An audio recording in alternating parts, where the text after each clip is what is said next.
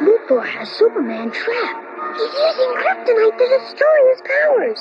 Now you'll tell me why Superman peanut butter tastes so great. Never. So fresh roasted, so creamy, so yummy. Then its secret will be mine, all mine.